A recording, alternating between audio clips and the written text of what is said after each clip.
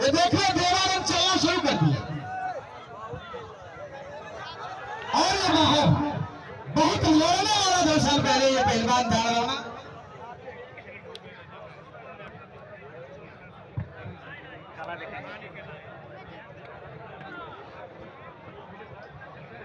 ये मुकाबला बहुत तगड़ा है देखिए देवानंद ये देवानंद पहलवान धीरे धीरे